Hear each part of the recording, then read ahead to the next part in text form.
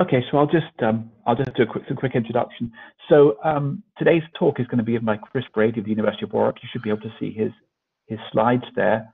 Um, just to say, one of the reasons I was very keen to, to introduce this session is I'm in charge of the Archer training program and have been for the past six years. And this is actually the very last event in the Archer training program, um, completing 446.5 days of training over the past six years. So it's quite a momentous event for us.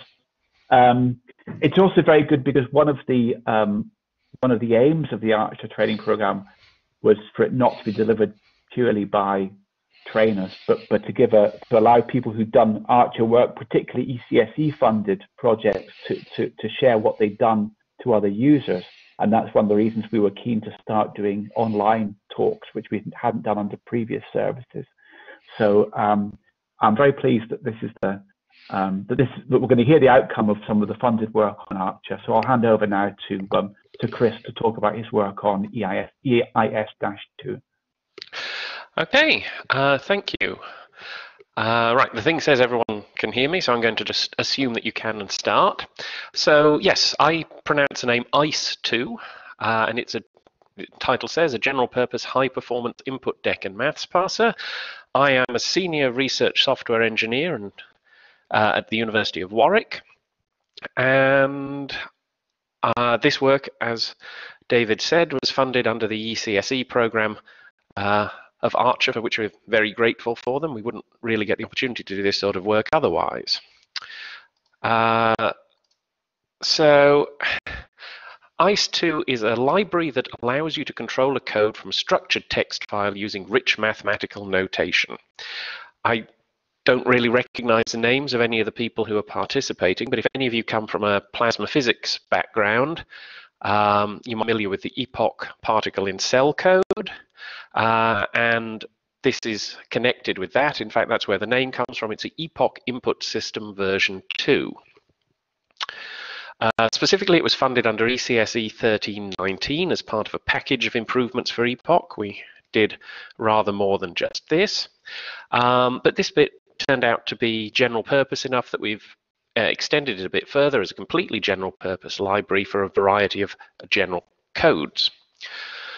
Uh, so Epoch is an electromagnetic particle in cell simulation code, plasma physics. We wrote it a bit over 10 years ago uh, using Fortran 95, and pretty much right from the start of it, it had quite a sophisticated input system, and I'll show an example of it in a bit. Um, we moved to to the newer Fortran 2003 standard fairly recently. That opens a lot of extra options with regard to what you can do with the language. It's a much, much more modern, much less restrictive language than Fortran 95. So PIC codes in general work by solving Maxwell's equation on a grid, which is the cells, and then you have a set of particles that represent ions and electrons moving freely over that grid. Uh, these are massively parallel codes. They typically run on thousands to tens of thousands, occasionally hundreds of thousands of cores. Uh, last month, I just checked on Archer, the median job size for people running Epoch was 1,200 cores. So it really is a fair size parallel uh, code. So the input system uh, does actually have to provide quite a few different things. It has to be able to provide properties for fields on the grid, properties for boundaries, uh, properties for particles, and just specify mechanical parts of the code. So you have to be able to do quite a few different things through the input system. So any replacement for its existing input system needs to have good performance in parallel, which means very limited communications. In fact, the ICE2 library itself isn't an MPI library. It provides you with some tools that makes it fit well into an MPI environment, but it isn't MPI itself. Dynamic libraries on large parallel systems tend not to work very well. They uh, take a very long time to start and uh, all sorts of other technical problems. So we wanted not to have dynamic libraries. ICE2 is a static library. Um, and it has to work exactly the same as the existing deck parser because Epoch does have a lot of users around the world, and unless there's an advantage to changing how they work, they just wouldn't.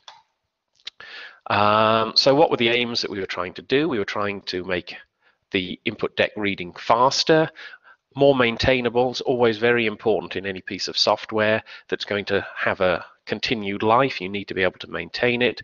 We want to be able to extend it further, and more importantly, although the original one was quite specifically tied to an epoch, a code written in Fortran, we didn't want to tie ourselves to Fortran forever. So what does epoch's deck look like? Well, here's one section of it. It's a block, in this case specifying the properties of a laser, and it's surrounded by a begin and an end marker, and then you have a set of key value things in the middle. Uh, the boundary, this is patched to the x min boundary of something. It specifies an intensity in watts per centimeter squared, a wavelength, a temporal profile, uh, which you'll notice is a function taking three parameters, and an end time for that laser. And if you actually run that through Epoch, you get something that looks like that, which is uh, what you'd expect from that profile.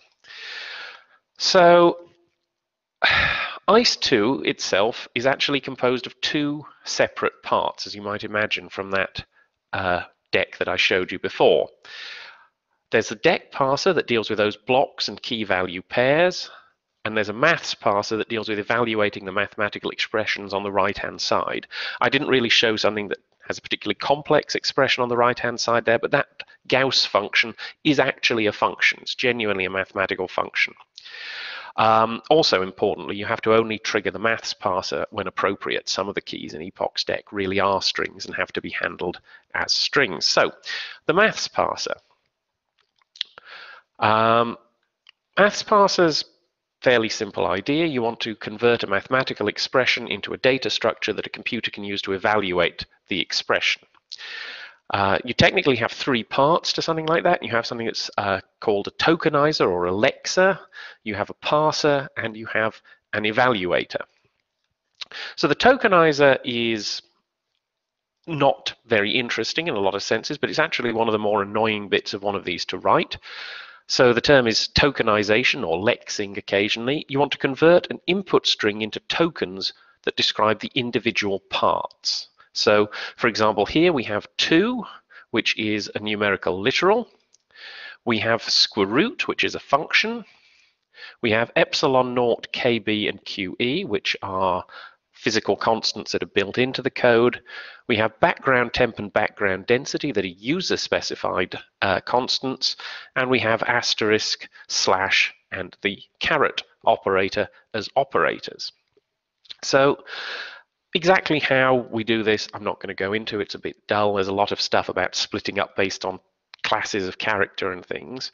Um, but you do that, you split it into those tokens, and then the next step after that is parsing, that converts the tokens into a form that you can execute.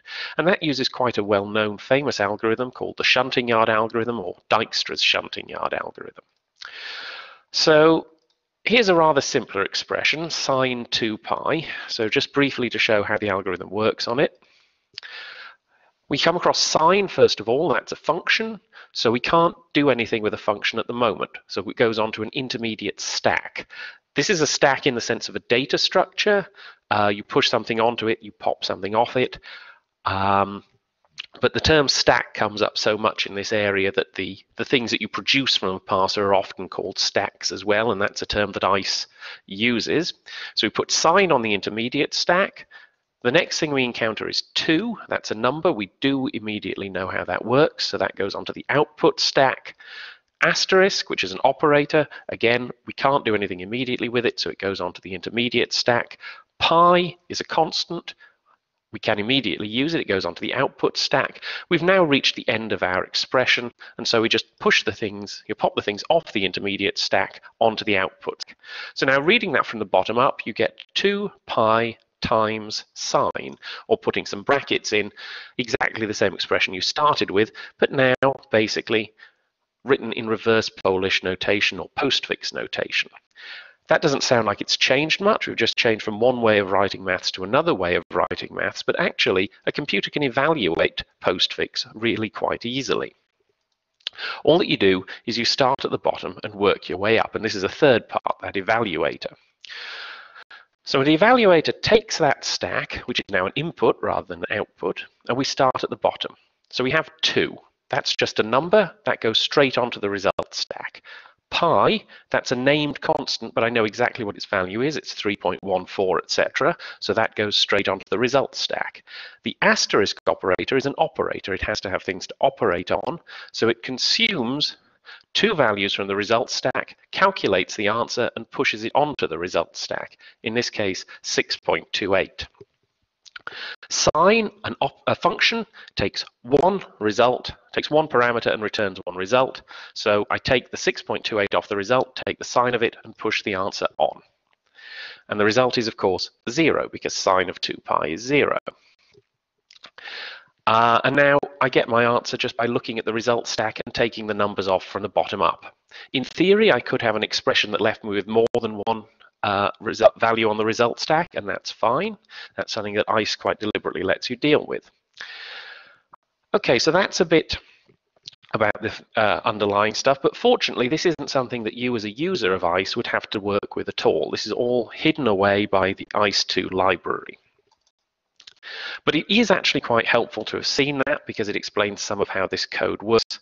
Um, so how do you actually use ICE2? You know, if you're a programmer working with it, how would you use it rather than what does it do? Well, I'm not going to try and do a full tutorial of everything you can do. It's not a small library. It is documented as well. Um, but here's an example of using it in its simplest thing. This is, you'll notice in Fortran. Uh, the library is written in Fortran. It is intended to work with other languages, and I'll describe that a bit later. But here it is in Fortran.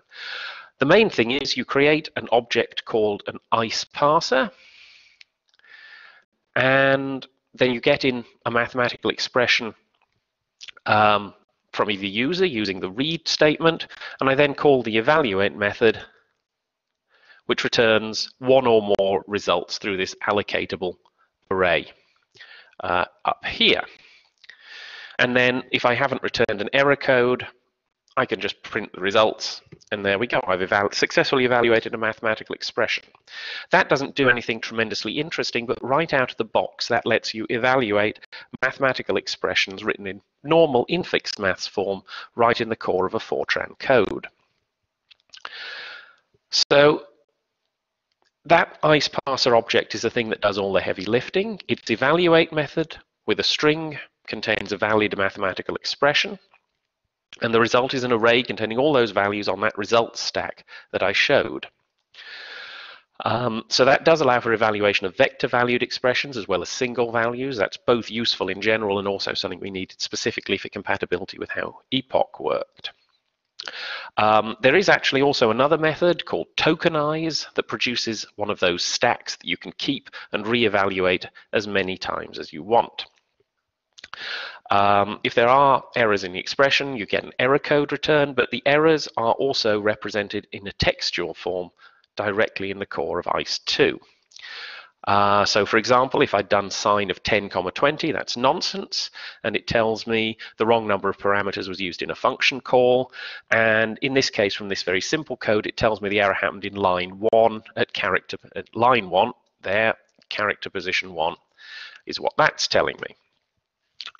Um, other errors are very similar. So if I use an unknown function here, Wibble, as far as I know, is not anything in any branch of mathematics. If it is, I apologize profusely to the mathematician I've just insulted. Um, but here I've tried to use the function Wibble, and it tells me line 1, character position 7 this time, there's an unknown value or function. Um, it also traps other slightly more subtle errors. So here I try and take the logarithm of a negative number. Given that ICE fundamentally works on real numbers, that is mathematically invalid, obviously. Um, you could create a modified version of the parser that works on complex numbers, and that's actually something that uh, we're looking to do in the future, but at the moment it's tied to real numbers, so that's mathematically invalid and reported as such. Um, those error messages are built into ICE2. There are no extra files that come with it that you need, but you can actually give it an external file for localization purposes. And if you have a Fortran compiler that supports Unicode fonts, uh, sorry, Unicode um, strings, then you can have Unicode in there. Uh, Fortran compilers aren't actually brilliantly supported for Unicode yet, but it's probably coming in the near future. Okay. So what can actually go in to that parser? So there are all the things that are built in, which are a few physical constants, um, the basic mathematical operators and functions, a few other things, but you can add extra things of your own. Your code using ICE2 can tell it about other things. So obviously it has a concept of literals as well, which are just the numbers that a user types in in the expression. There are operators, both unary and binary. We don't have ternary operators at the moment. And at the moment in version 1 of ICE, there is no way to have um, a, an operator specified from the host code. That isn't a fundamental limitation. It was just difficult to design an interface to deal with precedence and associativity that wasn't so messy that people would get it wrong as often as they get it right. Uh, you can have constants which map a named value to a numerical constant. Uh, things like pi, for example, are implemented as constants, but you can specify your own. There are functions which take uh, one or more parameters and return a value. Optionally, you can tell them when you create them how many parameters you expect, and it's an error if you give the wrong number, as you saw there for sine. But equally, there is the concept of a variadic function, which takes an unknown number of parameters, and then when it tries to run, it can say, yes, I understand this number of parameters, or no, I don't. Uh, variables are names mapped to a function result like a function, but they don't take parameters. The main point of di difference between a variable and a constant is a constant literally is this name is always this value. A variable, there is a function that's called which says what the result should be this time. Uh, there is also the last of the sort of basic parser objects, things that uh, we're calling functors, which are things that behave like a function in the deck. So they take a parameter, but they carry state with them. So this is basically the same concept as a, a functor in something like C++, but as applied to a, a maths parser. Uh, obviously, Fortran itself doesn't have functors. They're implemented in a, a slightly different way on the Fortran side. Okay, so actually do it? Well, I think it's pretty simple. So this here is the routine for adding a constant. It's almost the same as a previous example you saw, uh, but you now call the add constant method, give it a name, give it a value, and you trap an error code for return, and you can print errors in exactly the same way. Constants are very easy. Functions are a little more difficult. This is something to add the Cauchy distribution as a function. So you call the add function method, you uh, tell it what string in the deck it should go to. This here is a function that is called um, when you encounter that symbol in the deck, again an error code and an optional parameter for the number of expected parameters. Here the three parameters that define the Cauchy distribution. So that Cauchy dist function itself has to, of course to have a standard uh, form. That's how it works. It's all based on function pointers behind the scenes. Um, but it's not too messy. The most interesting thing to note here about it in a lot of senses, you know, it says the number of parameters, the parameters it gets. Host parameters will come back to status code uh, is used to return status but not error messages, and err code is used to return error messages. The most interesting thing is the fact that this is a bind C function in Fortran. So this is a Fortran C interoperable function. These functions can come from a C code, from a Fortran code, they can come from Python, they can come from Julia. It doesn't matter what language you want to work in, so long as they can go through the C ABI, they'll work in ICE. And then the rest of it is literally just an implementation of uh, the Cauchy distribution, returning a value based on the parameters you're given. Okay, so functions and variables have the same getter function that you saw there for the Cauchy function. Obviously, variables take no parameters. Uh, variables may optionally be specified by giving a Fortran or C pointer, so that um, rather than having to have a whole function just to return a value, you can just say, uh, go off and get the value stored in this pointer, you know, stored in the variable that this pointer points to. Um, not as elegant in Fortran as you'd like, obviously, because Fortran rules on pointer targets. Uh, functors are implemented as Fortran types derived from the ICE functor type and implement exactly the same function as an operate method, but they have a this parameter at the first, which is of class whatever your derived type is. A fairly standard Fortran object-oriented approach. So the interoperability. ICE2 is a Fortran library. Its main purpose is to work with the Epoch code, and it is very heavily based on some work that was done uh, associated with Epoch. Um, but pretty much everything that you can do through Fortran, there is a C interface as well. Uh, all the things that are objects in Fortran, the you know type ICE parser becomes an integer handle in C because you can't freely pass objects uh, having methods between Fortran and C. Um, and pretty much all the things in this that have functions either use bind C functions right in the Fortran, or where you can't come up with a good interface for both Fortran and C um, that's you know, natural for both languages, there is a C option and there is a Fortran option. Uh, that's mostly in the deck parser. The maths parser for speed is all these bind C functions, whether you're coming from Fortran or C.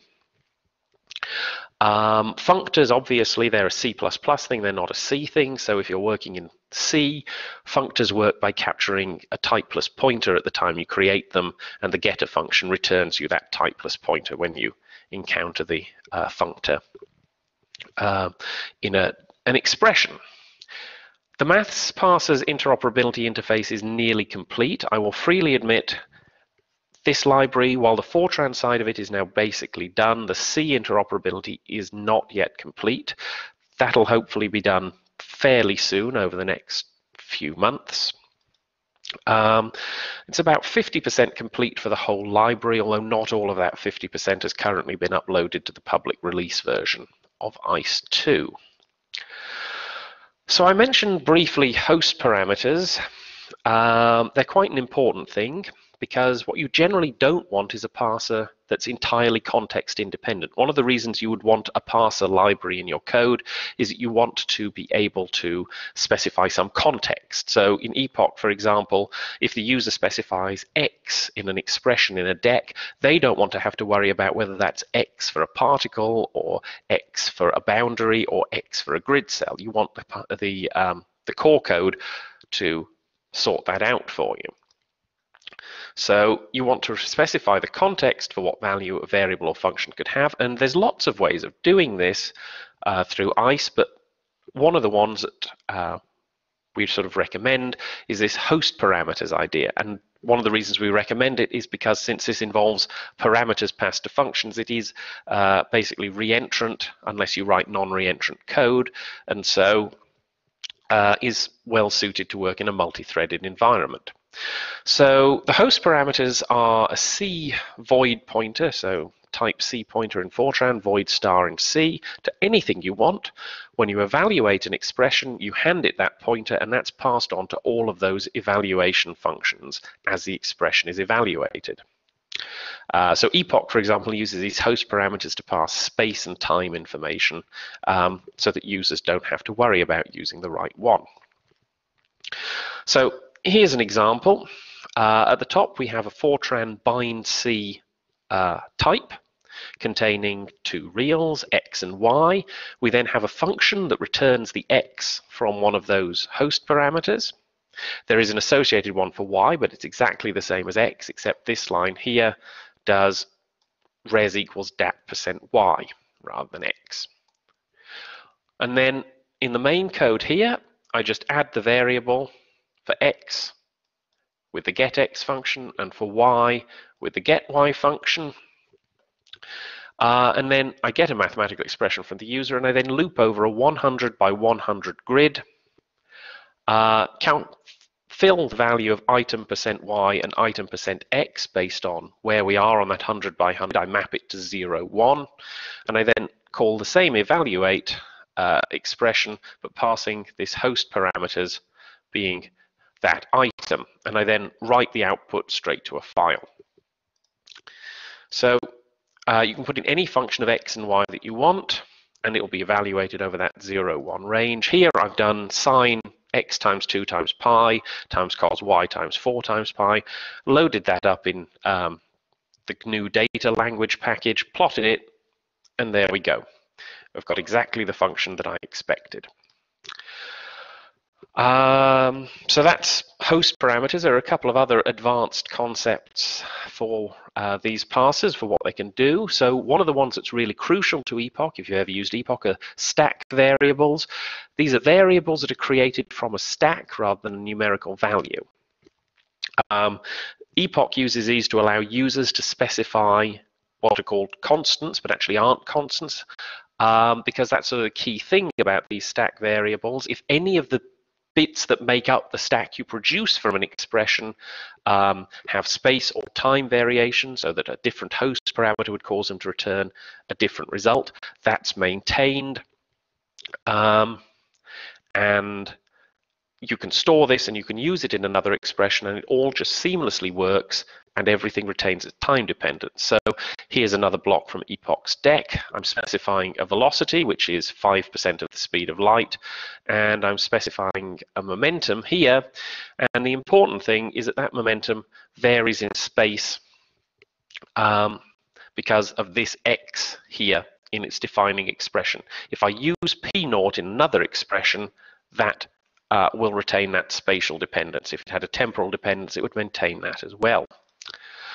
Uh, another thing are what are called emplaced functions. Those are a sort of generalization of stack variables. So there's another epoch example at the top. What I'm doing is I'm setting up a species of protons and I want them to have the same number density as the electron.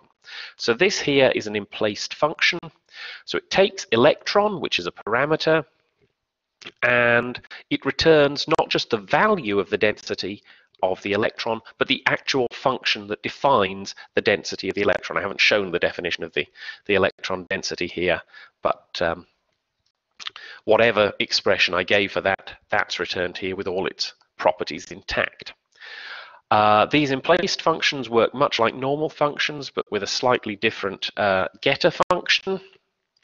Um, the other important thing about them is because the emplacement happens when you specifically tell it to, it doesn't just happen automatically. You can actually uh, use this. So, for example, you could have a stack that contains uh, X defining a position, and then you could take that stack and I could emplace it subject to everything being face centered on the x-axis rather than everything being cell-centered. And from the one stack, I can produce new stacks with different staggers on the underlying spatial grid or anything similar. I have control about exactly how this emplacement happens and exactly when it happens.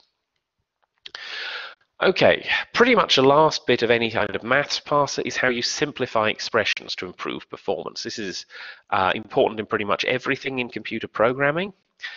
Um, but so far I haven't talked about it here at all. So basically the idea is that many of those tokens can be combined immediately. Some of them you have to keep because they change in response to some external data source. So all constants are simplifiable because they're a constant. Um, Functions and functors, where all their parameters are simplifiable, are simplifiable unless you explicitly tell ICE that they aren't, in which case they aren't, even if all their parameters are simplifiable. And variables are not simplifiable unless the developer overrides, because in general, why would you use a variable rather than a constant if uh, you could uh, just simplify it away? So the simplifier works through fairly well-known principle of forming an abstract syntax tree and then pruning any branches that are simplifiable. Uh, a lot of other parsers actually use abstract syntax trees as the main way of storing their, their data, the things they evaluate. That's actually somewhat slower, um, but they are extremely powerful as a way of simplifying expressions. So just to give an example, here's that thing that I plotted the graph of earlier, and there's a graph of the syntax tree for that expression. So you have down here, you have 2 pi, down here you have 4 pi, multiply by x, multiply by y, sine cos, multiply them together. Um, run that through the simplifier, there isn't much they can do because x and y are not simplifiable, and hence these multiplications aren't simplifiable, but that 2 pi can just be converted into a value, as can the 4 pi. the numbers written there are written to a finite precision. The actual conversion is done at full double precision by default. Um, so this is an example of what it's doing. It's not tremendously clever, but it does speed things up, particularly if you take a more complex example. You probably can't read this, doesn't really matter. This is a real expression from an epoch example deck. It sets up a distribution of uh, ion velocities. It's a ring, basically, in, um, in x, px, py space. It's a ring. Uh, so that's the raw expression that you get out without simplification if you run the exact same thing through a simplifier, you get this. And this runs about 10 times faster than the first expression. So saying about faster, you then do come quite quickly to questions of performance. You cannot get the performance of native code out of this. This is essentially an interpreter. Um, performance is still quite good overall. Usually takes about 30 to 40 CPU cycles per stack element. So the general overall performance then is about one-tenth the speed of a native scalar floating point code. Uh, to put that in perspective, if you have a Python interpreter embedded in your code running NumPy, that's about 20, this is about 25 times faster than the Python code uh, to evaluate the same expressions. I've tried that across several different machines, several compilers. I get that sort of performance improvement quite reliably. Uh, there is also another trick that ICE has available if you want to get even faster. These stacks are opaque objects. Your code, if it uses the ICE library, just evaluates those stacks to get a result. So you can bind a result function to a stack and get the answer a lot faster. If you write into your code a specific function to do a specific thing, you can just bind that function to a stack, and then whenever that stack is evaluated, that function is called and returns its results. So there is the overhead of one function pointer, which on most of the machines I've tested with most of the compilers is around four to five CPU cycles. Um, there is future work that we've done some very early preliminary testing on, which allows you to use libllvm to compile stack expressions to give close to native code speed. But it does have some real disadvantages. Essentially, I can make all of the of the code able to be compiled through libllvm very easily, but user-specified functions either have to be an external call uh, anyway, which is a large chunk of the overhead that's associated with it, uh, or you would have to write those host code specified functions in such a way they can, can be compiled to LLVM intermediate code uh, and compiled in, which isn't impossible, but that might mean that this isn't as useful as it at first sounds. Nonetheless, it's something we'd like to do in future. Okay, so a very brief bit on sort of advantages and disadvantages of this system before I move on and talk about the deck parsing bit rather than the maths parsing bit. So I think one of the advantages is this is a static library. It's in standards compliant Fortran 2003. Optionally, you can compile it under two standard 2000, Fortran 2008 standard, which gives a few advantages. It has no library dependencies itself of any type. So it's extremely easy to build on any platform. It's extremely easy to link to your code. It's a lot faster than a general purpose scripting language. Python isn't the fastest scripting language out there, but we are a, a, lot faster than it and pretty much any other general purpose scripting language that I've uh, tested against. It's also rather easier to add to your code than Python is, or even Lua, which is a thing that I always have as a go-to if I want a nice, easy scripting language to add to a piece of software. Um, it has another advantage over those more general ones, which it gives users only the level of control that you want over your code. Your code is much more in control of how the evaluation happens, where it happens, what values things return at different points than would usually be the case if you were using something like Python to script your code. Um, another advantage, which is substantial under certain circumstances, is that the core of ICE2 has absolutely no side effects. It has nothing written into it that allows it to interact with a file system, except for loading files. It has nothing built into it that allows it to um, interact with the network at all. So you can safely move decks between machines. You can run a deck from somebody else without any concern about someone having put something in their script to delete what's their working directory, but is the name of the directory that's got all your important results in. Because unless your code actually implements destructive features through its input deck system, ICE won't allow anyone to accidentally do it because it doesn't have any capabilities like that. Of course, if you want to, you can implement them yourself. Uh, another advantage, BSD3 clause license, so you can use this in open and closed source software freely. So it really is intended to actually be shipped with your code. This is not something where uh, we would expect people to install it as standard on a computer as a library and then uh, you link against the system version. You just ship it with your code and your makefile calls, calls the makefile that comes with ICE. Uh, it really is intended for HPC workflow. Uh, it's a static library. Uh, it has features that allow you to easily load files only once, which I'll come to briefly, uh, and then scatter them out uh, through the MPI communication layer. Um, there's quite a lot of nice features in it, but because of the fact that Epoch is a, an HPC code, ICE uh, really is intended to fit in with that.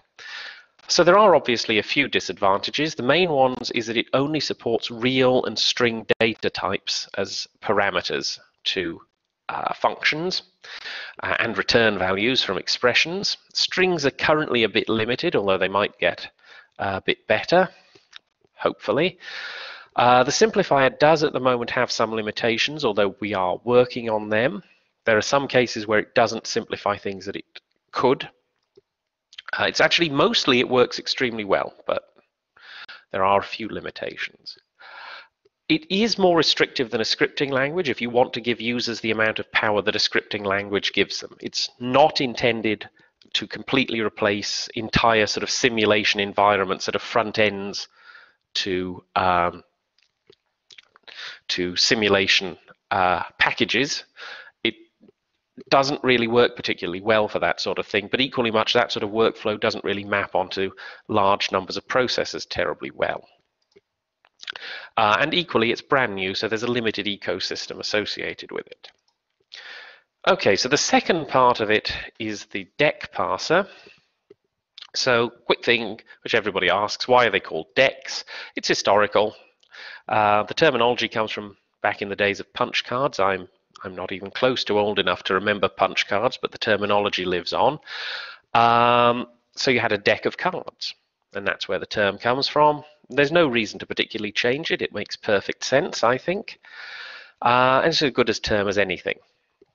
The idea is it's an input telling a program what to do without having to recompile the source code. That's all that I mean by an input deck. Uh, in ICE2, it is connected to the maths parse that I've described since you use it to process the input. So a bit of terminology. I'm going to talk about blocks, which are connections of collections of connected keys. Blocks can contain other blocks if you want them to. Uh, there is a concept of a type of a block, which is the definition of a block. You know, so in that example I showed from Epoch, you had a laser block. That is a type of block. Every block type has a unique ID number. There's also an instance of a block in Epoch deck. Every time you have a block that begins begin laser, end laser, you can have as many of them as you want. Each one of those is an instance. Each instance also has a unique ID that isn't related to the unique ID for the block type. Uh, keys are a named item associated with a value. A value is an input that the host code wants. Uh, definition, I'm going to come to, is a definition of the possible blocks and keys in a deck. There's something called an ICE deck definition object that sets one of those up. And a pass is a term for when you run the deck parser over a deck. Quite often, you'll need to go over a deck multiple times. Uh, Epoch, again, as an example, uh, runs over the deck twice. The first time reading only those blocks and keys that are needed to know how much memory to allocate, and the second time actually allocating that memory. Uh, sorry, first time setting up the amount of memory, allocating the memory, and the second time through populating the values.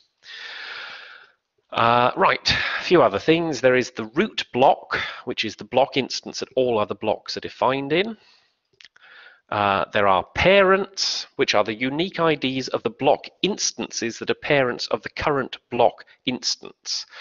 Um, doesn't really matter, but that's how it's done. And the last parent of a block is a block itself. This will make a bit more sense uh, later when I sort of show you what the functions associated with these look like. And connected with the idea of parents are parent kinds.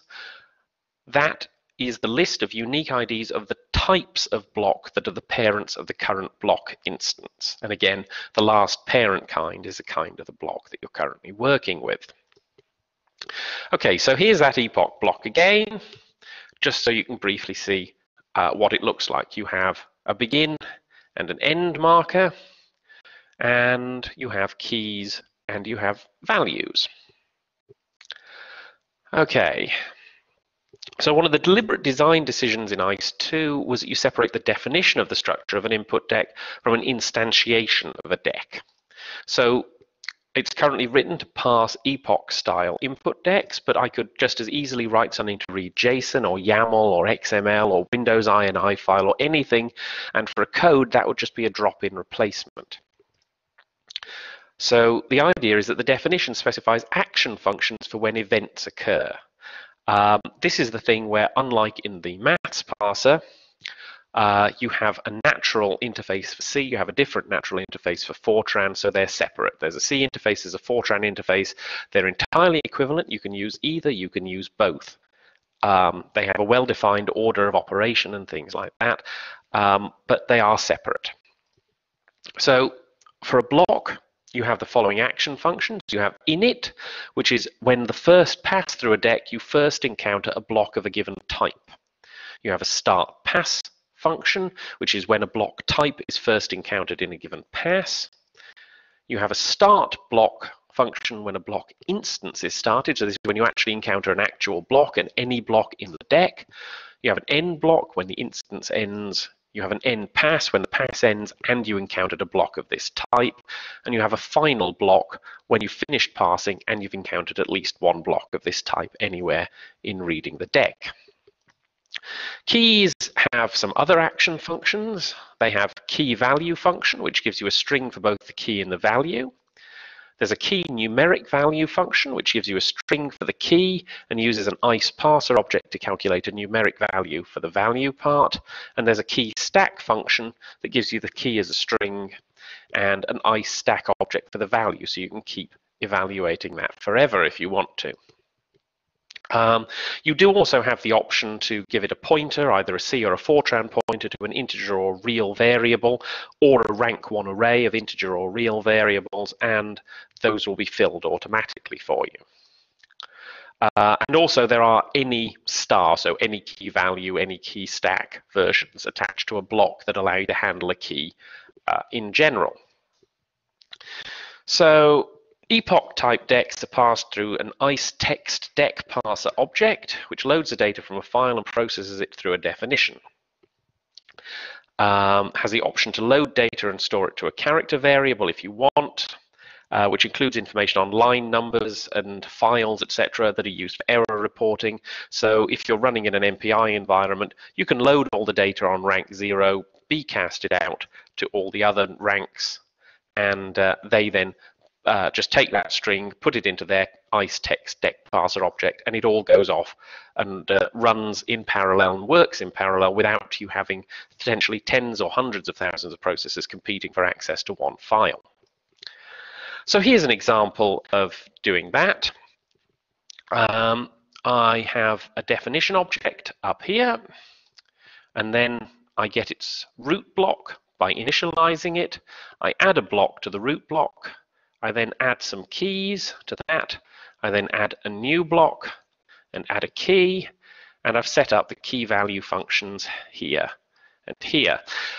Uh, they're basically uh, exactly the same for all of them. That would be unusual in a working code, but this is just a test example. And then when I've done that, I have an ICE text deck parser object here that I initialize, and I tell it to parse a given file and then I do error reporting, much the same as before, but not quite here.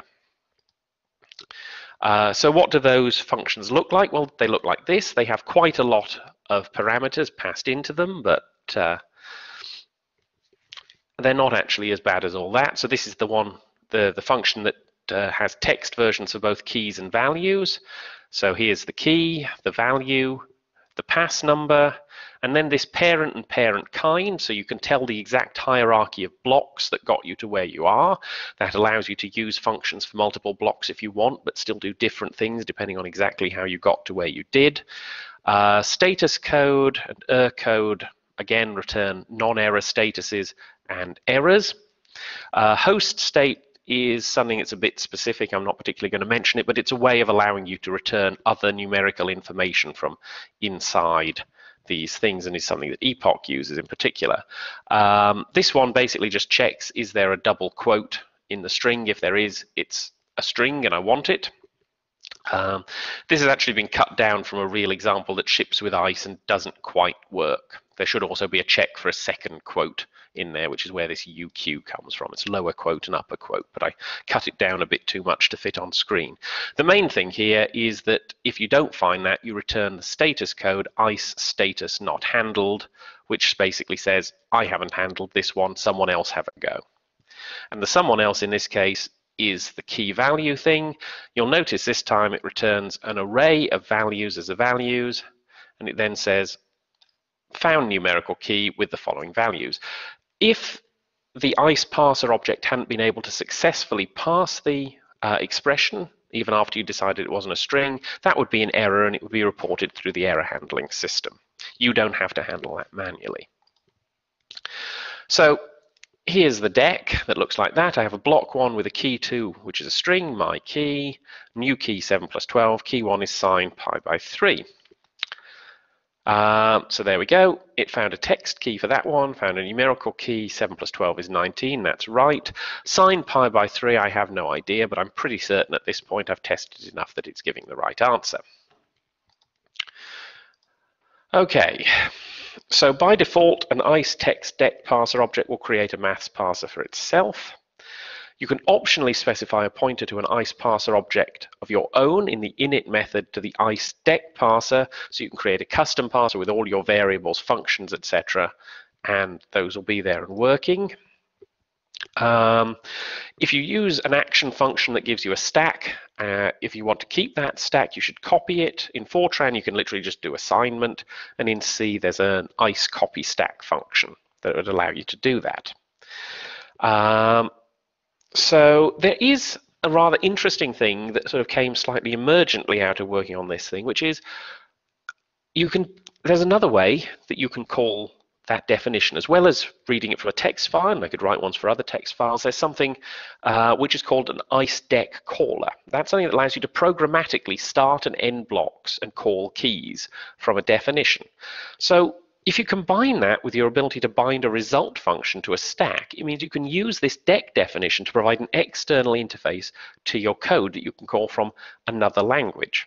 So for example, uh, in Epoch, we're just working on implementing that. Uh, it's not a core part of this project, so it's on the, you know, not going terribly fast, but here's a few functions. So I have a, an external bind C function. This is in Epoch. This isn't part of ICE that takes the block name and it um, converts that to a Fortran block name and then uses a deck caller to start the block in uh, the same deck definition that's used by Epoch for parsing its text files. You don't see it here, but this deck caller object had the definition bound to it when it was initialized. So there's that one. There's this one, which is very similar for calling a key. Uh, that takes a key in as a string, a value as a string, and optionally a value function, which is a C function of that type that you can bind to a um, to a stack and have it evaluated. And we use the deck caller call key. And then there's another function which I'm not going to show that matches to the start block for end block uh, that you then call when you finish a block. Um, and then you have an end deck that ends the pass. And then there's something built into the deck caller that allows you to just replay a deck as it happened, now with the pass number two. Um, and that's all happens automatically. And then I just call the finalize on pass two. and that works. That's exactly equivalent to somebody taking an epoch deck and running it through the text parser. But you're now able to control this by calling these functions externally. You compile epoch to a shared library. I can call it from C, I can call it from Fortran, I can call it from Python, I can call it from whatever. I've turned my code with comparatively little extra work into something which I can call from outside. That isn't everything that's needed. There are some epoch internals that aren't in those simple examples that are needed in those places. There's also stuff for how do you report lines and file names for errors coming from external codes. That's all optional, but it's very useful. Um, and probably in reality, if you want your code to be controllable from Python or something, uh, you want to have uh, more control than just being able to run its input deck and just get out the answer in the old-fashioned way. But it is a very strong start to allow you to mix a high performance code that can take a text file input and run on tens of thousands of processors, uh, or link it to another code for doing linked multi-scale simulations, or allowing you to use an interactive uh, language and run it from a Python interpreter. Okay, uh, last section before I come to conclusions, descriptions. The parser elements and the deck blocks and keys can have text descriptions associated with them when you define them. Uh, and you can retrieve those element by element, or you can get ICE2 to produce you a markdown document for either the parser or the deck information. So for example, here's a section of the documentation for Epoch's deck, listing the functions or some of the functions that are available in the Epoch deck. Uh, and now file is generated as Markdown. I've run it through Pandoc to get this, uh, but it happens pretty much automatically. You can visualize data in other ways. I can get the RPN version of the stack out, simplified or not. I can turn the simplifier on or off, although why I'd want it off, I don't know. Um, I can convert a stack back into infix maths and visualize that, again, simplified or not. Given that it is a conversion back, not simply retrieving the string you gave it.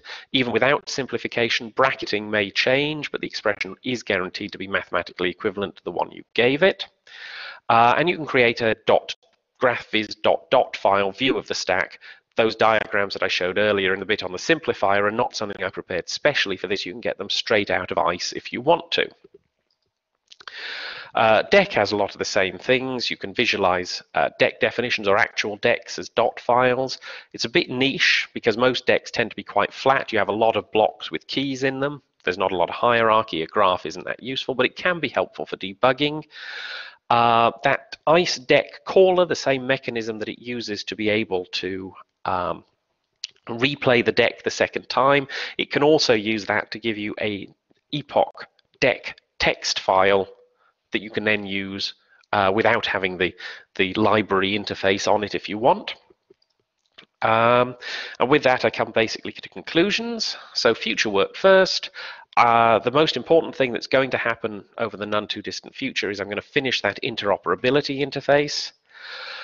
Uh, one of the things that we'd like to do is to add vector execution option. As I mentioned, the speed is quite good compared with native scalar code, but obviously modern processors are vector. Um, so it would be quite nice to be able to take some advantage of that. Obviously, the limit is because this all relies on calling functions. You only get an improvement from vectorization if an individual getter function is complex. You can't really vectorize the um, execution of a set of function calls very easily. Um, that's potentially where the LLVM thing that I mentioned comes in, but that's a long way in the future and may make it so hard for uh, someone to put in their code that it never really sees the light of day. But it would be nice if we can add it. Um, oh, yes, I say, quite tricky. Performance benefits are quite limited without requiring the host code functions to be compiled in LLVM intermediate language. Uh, and the thing that I'm still working on at the minute is more examples. There is Doxygen in about 90% of the source code. The remaining 10% was still changing recently enough that the public release doesn't have the Doxygen in because it was out of date. That last 10% will be done soon. There'll be more examples. There's a quick start guide and overview. There'll be a proper manual of all the parts. Uh, and that will come fairly soon. That's timescale for that sort of linked with the interoperability interface because obviously that has to be documented as well. And finally, conclusions. ICE2 provides a fairly complete open source library for reading input files containing rich mathematical notation. It's currently fully featured for Fortran code, but it is going to have a C interface coming soon that means other languages can interoperate with it.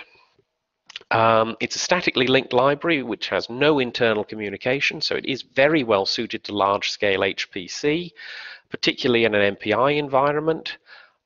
While some parts of the parser at the moment are not reentrant, the actual evaluation of parser expressions is reentrant, and we're hoping to make more of it so. So um, it already works perfectly well in a multi-threaded environment, so long as each thread has its own uh, parser object or deck object.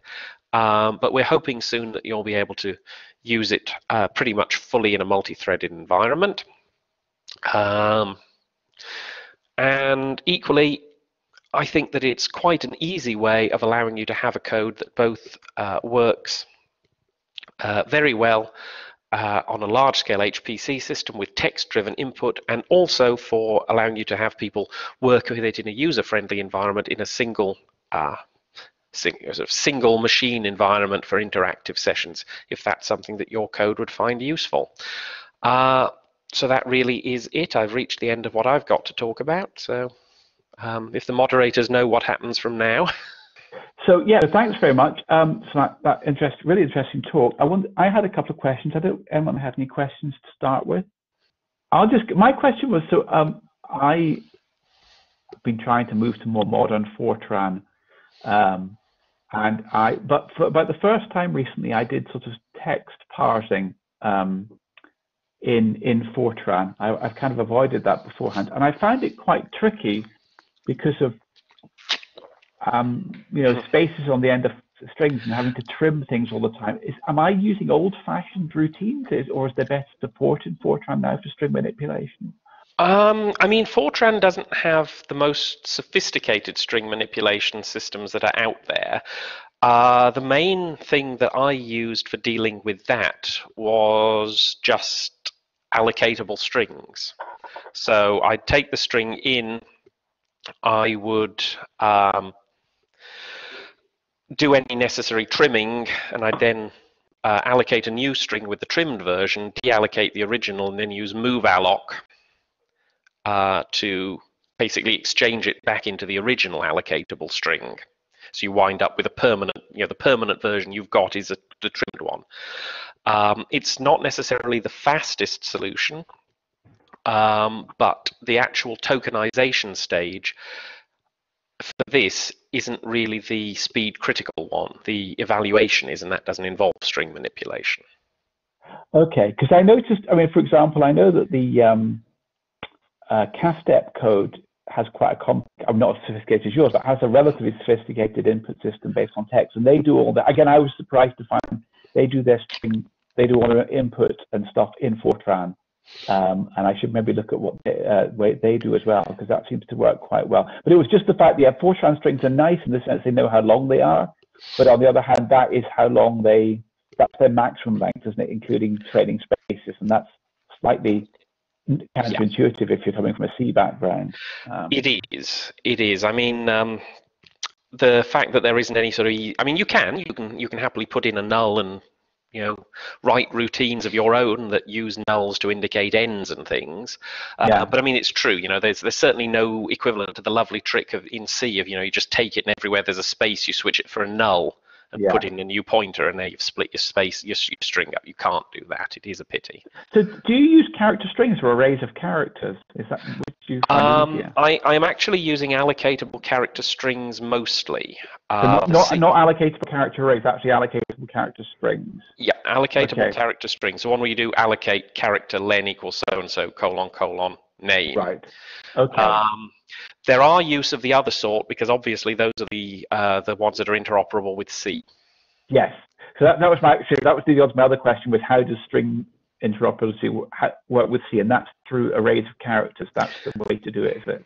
Yep, that is the way. Um, there there are actually. Uh, I mean, if you have a look at.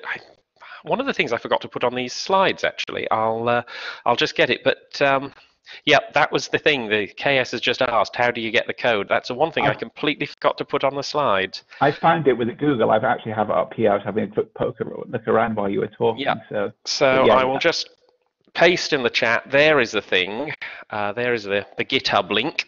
It's um, completely open. It's github.com slash csbrady hyphen warwick slash eis hyphen 2 so so that's that's where you get it from. And in there there are a couple of functions in common source uh, ice utils. There's ice cf string and ice fc string which do the conversion back and forth between fortran and c strings. Um, and that's both from um, interoperable c pointers you know type c pointer and from uh, um, from just arrays of characters. But ultimately, it has to be arrays of characters behind the scene, even if it's um, a C pointer to an array of characters. That's that is how you have to do it. And you stick nulls in by hand, do you, for, for, the, for the benefit of C? Yep, that's it. Okay.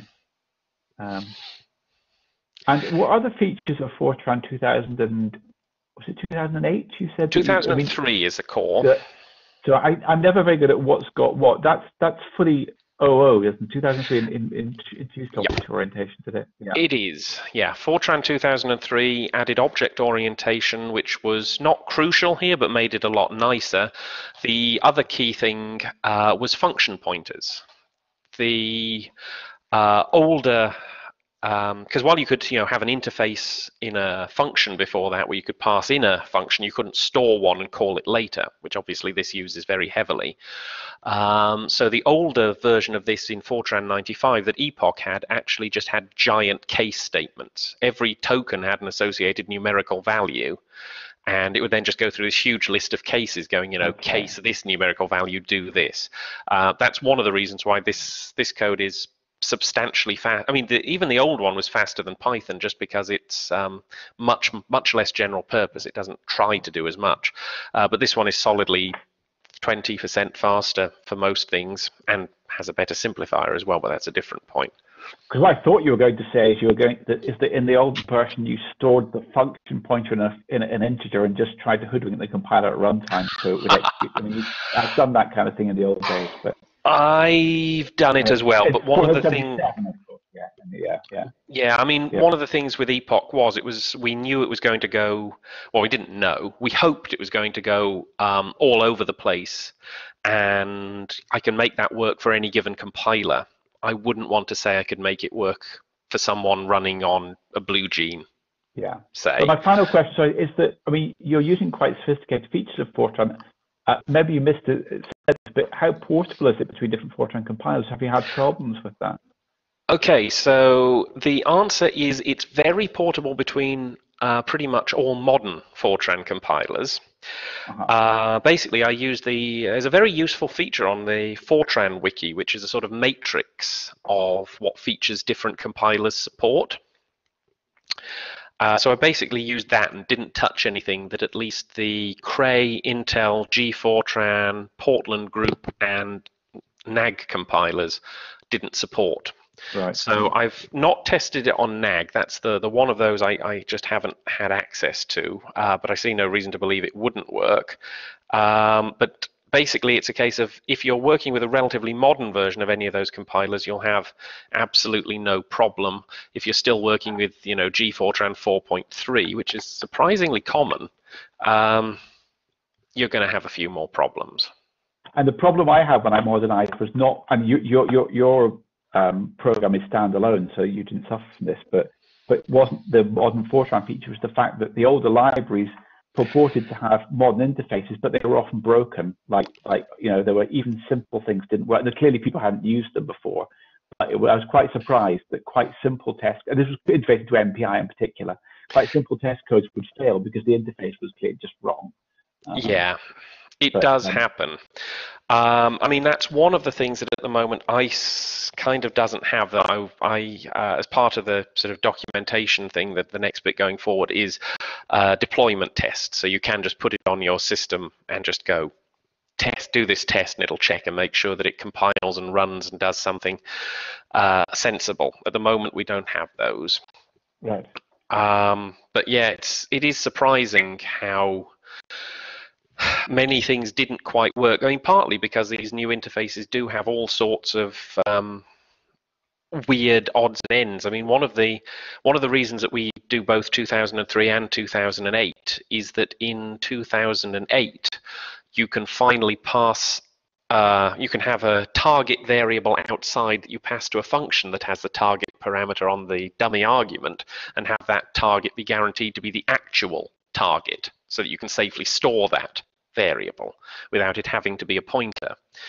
Um, but that's actually quite restrictive. And it, if you actually use it, it's remarkably easy for someone to pass a non-target variable and the thing compiles and it runs. And 99 times out of 100, that'll work and it'll run. But the 100th time, the compiler will have done something unexpected and it just crashes. Fortran has, I really like it. It's a wonderful language, but it does have some horrible dark edge cases. Yes, yeah. Um, so Okay, so I didn't have any more questions. That was very interesting. Um, so if there's no more questions, I'd just like to thank everyone. I'd like to thank Chris for giving such an interesting talk and um, bringing the entire Archer One training program to an end. Um, so, um, and the Archer website, which is where these materials stored, will be up for. It will be made static at some point in the future, but it's going to be up for a long time. And I'd like to thank you again, Chris. And um, thank you for inviting me. If that's everything, um, um, goodbye and thanks for all the fish. I guess is what you're supposed to say. Thank you very much. Thank you. So, bye everyone. Bye.